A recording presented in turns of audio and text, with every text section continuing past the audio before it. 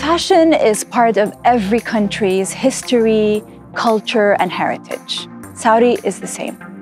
So if you look at all the regions that we have, and you look at how, you know, the past and how all these regions are portrayed with color, with motifs, with different like styles, depending on the climate, on the geography.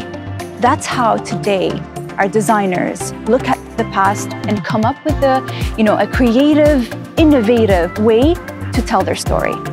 And the Fashion Commission is here today to support that, to enable them to tell their story. Fashion evolves with time. So is our country with Vision 2030. And to see the potential of this industry and our designers telling their story through their own lens, bringing out the past showing it today in the present with their own identity, telling their story and narrating who they are as Saudis. Three things that I'm mostly proud about.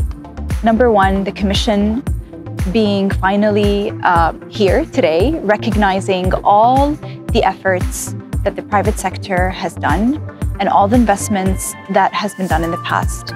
Government today sees the potential in the fashion industry. And that's what I'm like one of the things that I'm most proud about.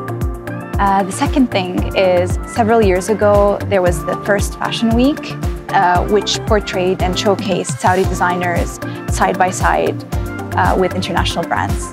And uh, that was a monumental uh, time and it, it made all the designers finally, you know, uh, see the potential in this, in this field and, and what their careers can, can, can be.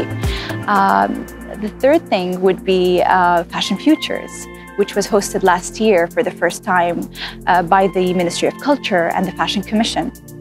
And it's a platform where all the voices of our community can be heard, uh, where knowledge and culture can be exchanged.